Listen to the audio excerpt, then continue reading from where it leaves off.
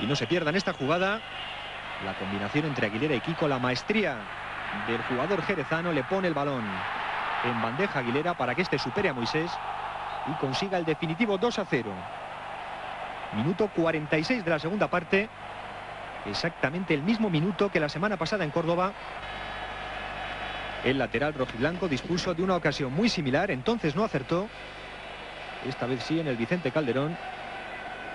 Aguilera transformaba ese tanto ya de la tranquilidad definitiva para el conjunto local.